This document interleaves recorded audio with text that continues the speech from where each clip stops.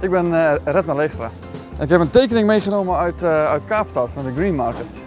Ik heb gekozen voor deze tekening omdat ik laatst uh, mijn huis helemaal geverfd heb. En ik heb eigenlijk nu een witte, witte schoenendoos als kamer. Mijn oog viel erop, ik dacht nou dat, dat, dat is mooi, dat wil ik hebben. Dat zie ik wel in mijn huis hangen.